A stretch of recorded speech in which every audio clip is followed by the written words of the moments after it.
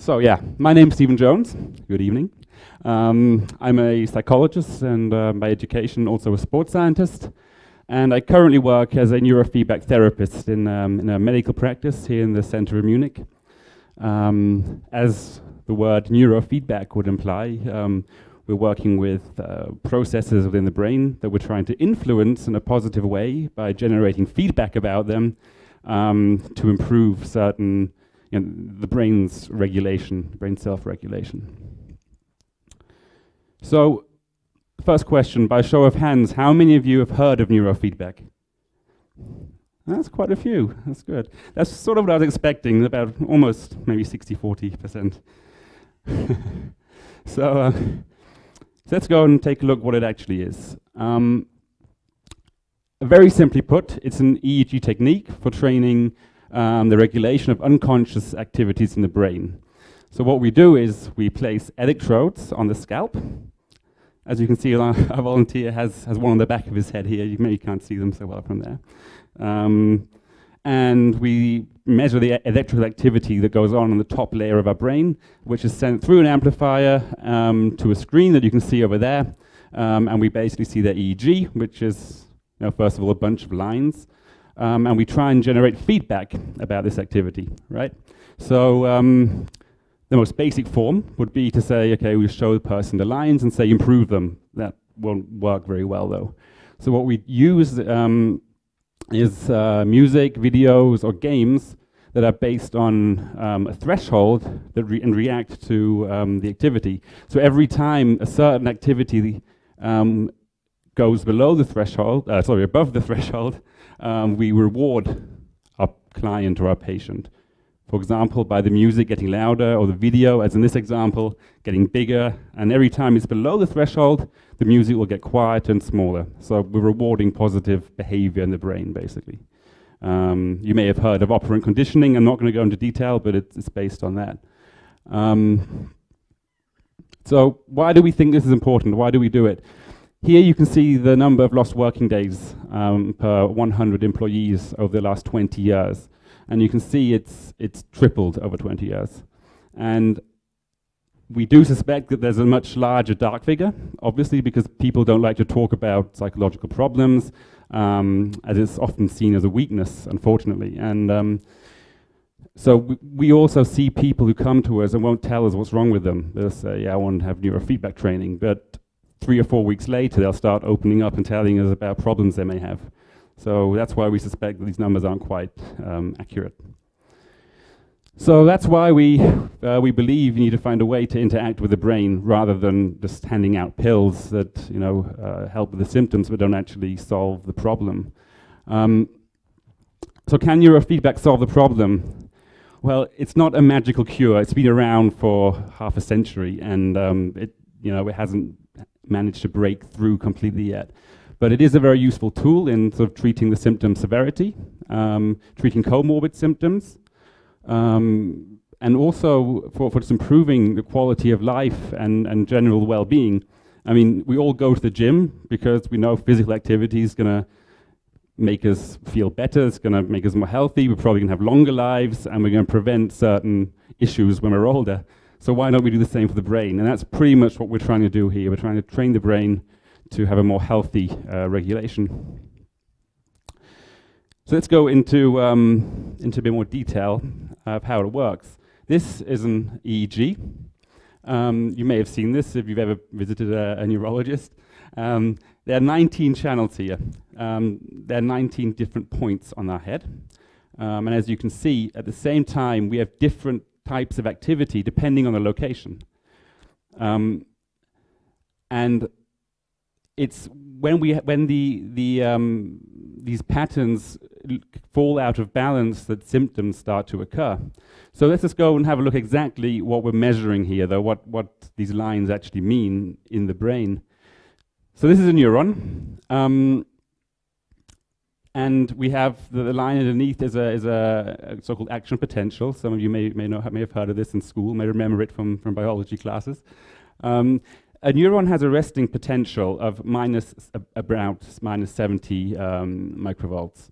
And when there's a certain exchange in, in positively and negatively charged molecules, what happens is um, an action potential is, is um, created. That means that the cell suddenly depolarizes, and you get sort of a line like this if you measure it with one electrode.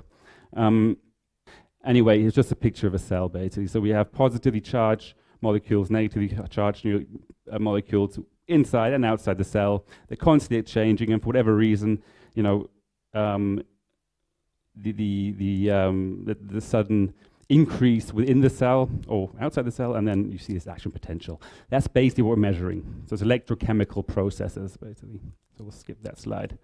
Um, and back to, so we go back to the brain waves. Um, we work with two features in neurofeedback on EEG generally, I guess. Um, we have the amplitude, which is the height of the brain wave, um, measured in microvolts and that represents the strength. So the number of neurons doing exactly the same thing at the same time on a certain location. And we have the frequency, which we work with, which is the speed of the brain waves. So um, that's measured in hertz. It's the number of cycles per second.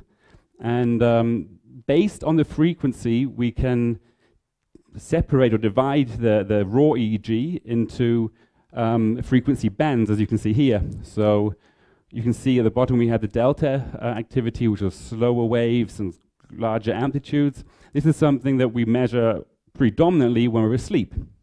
Um, and for example, if we're sort of concentrating, working hard on an exam or, or, or just at work, focused uh, very strongly, we have lots of high beta waves.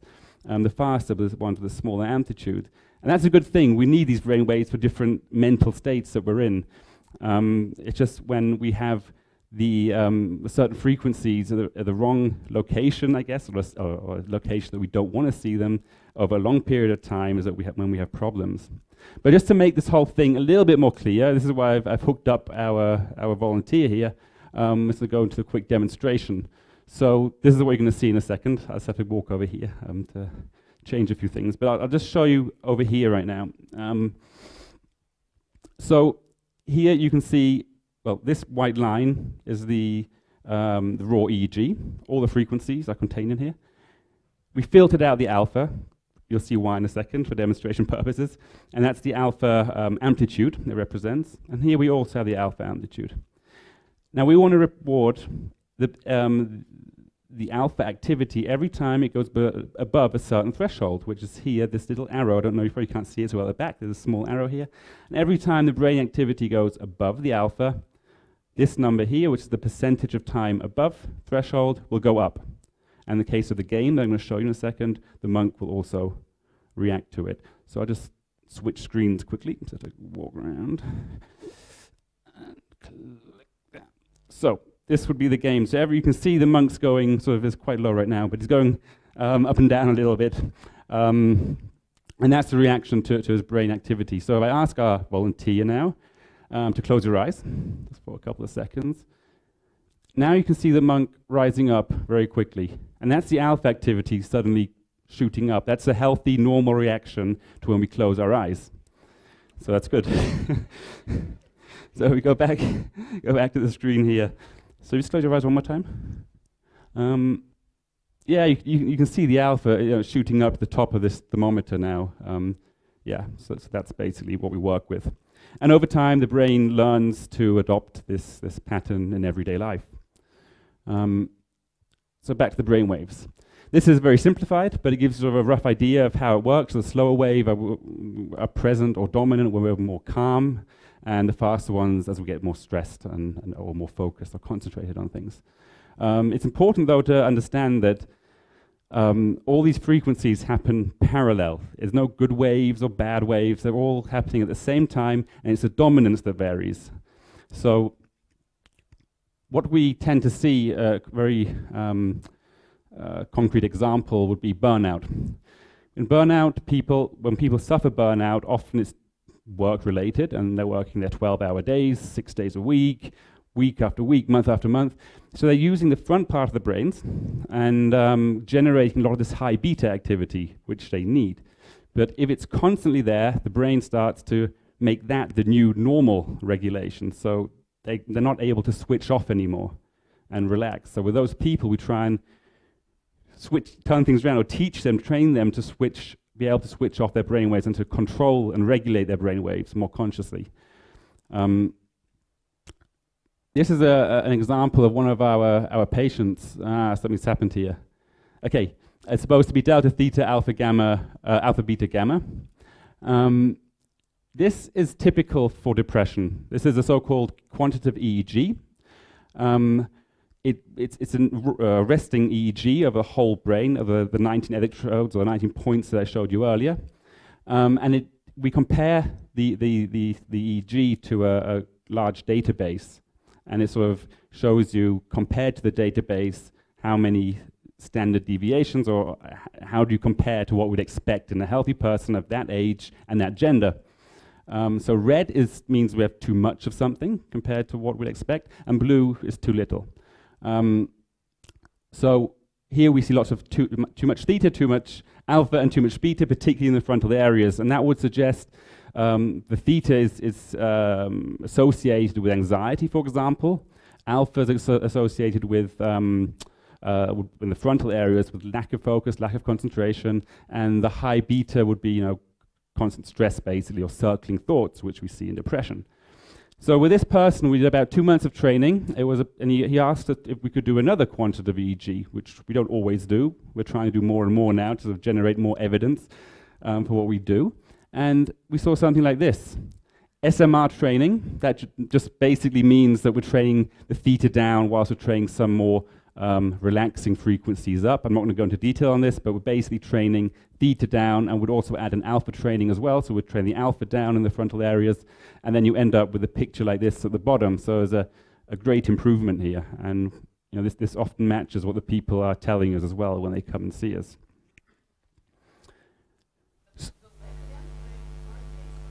After certain, no, well, surprisingly, it, it doesn't go back so quickly. No, the, the effects are lasting once you reach the state. So we do recommend that people come back to us for like a, another boost session. But um, yeah, it, it, the, the effects are pretty, pretty good and pretty lasting. So, who is neurofeedback for?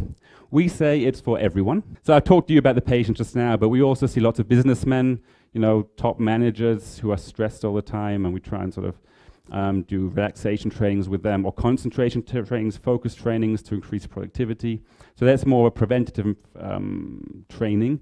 However, we are working towards um, taking this into health management, um, and we have some big projects going on there.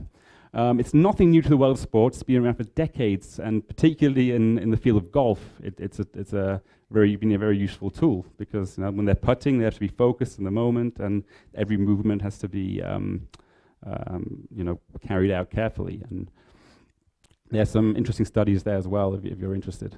Um, we see a lot of students who come to us who have difficulty taking exams uh, because they, they get nervous and, and, even though they've learned everything, they fail. So we'll combine the, the neurofeedback with example questions perhaps from the exam and just go through it with them.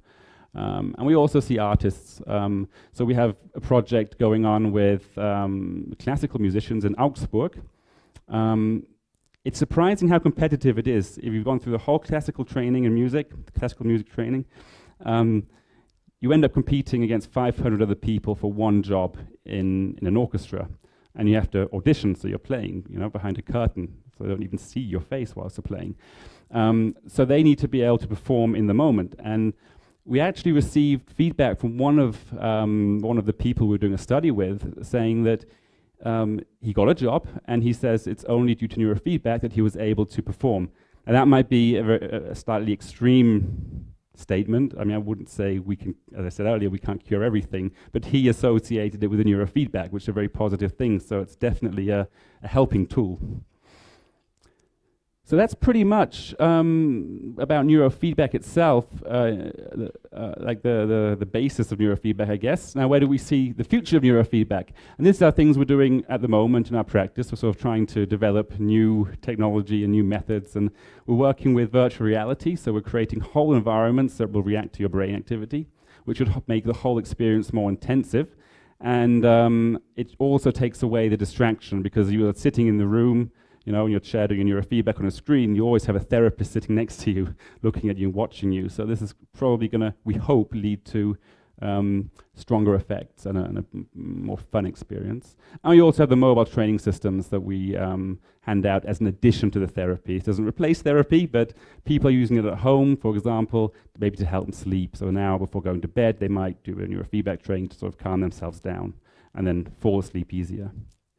Yeah, so that's pretty much neurofeedback in 50 minutes. Um, as said before, there's, there's, a break now. You're all welcome to come and have a go and test it out for yourself. Um, yeah, thanks for coming out, listening uh, this evening. Thank you.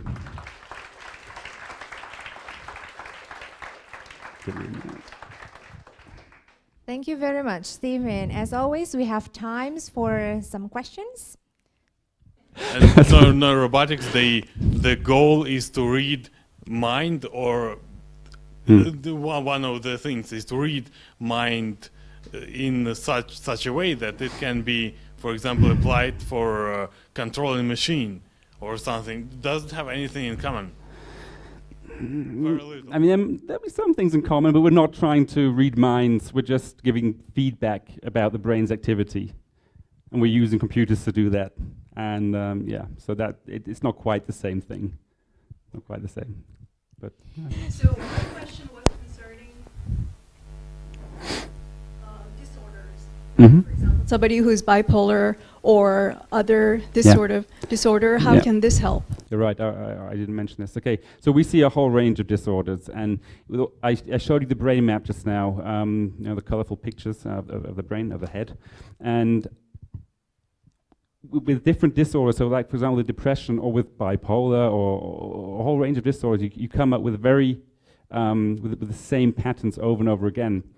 So that based on these pictures, we create a training protocol. So we decide which frequencies are we going to train, at which location on the brain, and then um, yeah, we just work towards it. But it's not it's not sort of like a psychotherapy. We're not we're not talking through their problems. It's more of a, a training. We we call it a training rather than therapy um, to keep it positive. But yeah, it's. Uh, what I'm trying to understand is like when you're saying training. Yeah. Uh, you have a center for it.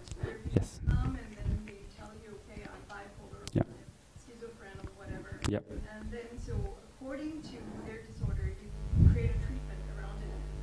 Yeah. Yeah. In general, this is more of an, uh, an addition to a treatment they already have, and it just sort of helps that. So it doesn't replace other treatments for serious disorders. It's, it's an addition for that. Yeah. Okay. Um, from this side, yes, you are on the back.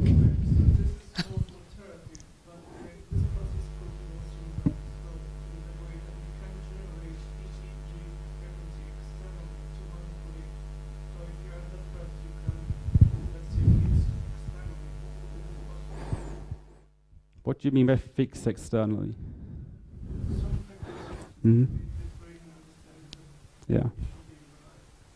Yeah, that's basically what we're doing. So we're rewarding the frequencies or the amplitude of the frequencies that we want to see in a healthy, functioning brain. No, no, no, we don't generate frequency. No, no, we're just measuring the free. We're measuring the frequency in the brain, and we're feeding that back. That's all we're doing. It, it's much more simple than. In Ah, so stimulating the brain, you mean? That's possible in theory, but we, we don't do that. Uh, I have done it in the past, but that's not what we do. yes, please. Yes, and then after that. Yeah.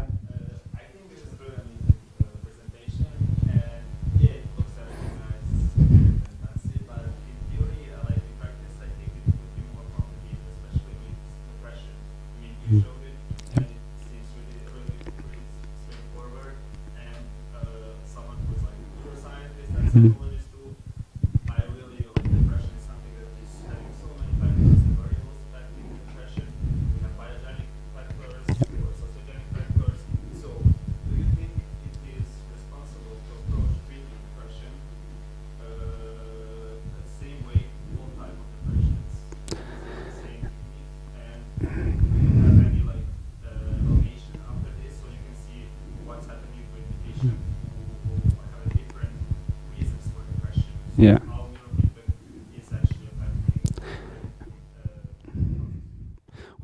First of all, um, when people come to us dep with depression, they're in treatment in, with a psychiatrist. Uh, we, this isn't replacing other forms of therapy. It's an, it's an addition to what to what um, is already being done. Um, the thing is, the typical person who calls us with depression is someone who um, has been gone through all the medication, and we know it's trial and error process until you find the one that works for you. And they say it's just not working, and they want to try something different. And then they come to us. Uh, we we, we, have a, we have a doctor in the practice as well, uh, who I work for, um, and um, you know, so we do also contact the people who are already treating them. It's, it's a, it, we are very careful with this and being very responsible with our training. Okay, I have to cut the discussions because I promised yeah. him to get the questions, but Steven is also Yeah. available during the break. I would like to understand the feedback part hmm because uh, I, I, as far as I understood, it's, it's feedback. So Yeah. the people who come for training, or what, what is the feedback they are giving? No, no, the, the feedback can be a game, it can be a film, it can be music. We always combine it with music or sound of some kind, so they've got the visual and the auditory. In theory, it can be anything you can feel. It could be, you know, a, a chair, massaging chair that vibrates. In theory, you just got to generate some sort of feedback that reacts to the, the to the threshold that you're going over, right or below. That's pretty much how it works. And yeah, Does that make them addictive to the no. no. Okay, thank you everyone, and thank you, Steven, No one problem. more time. Thank you.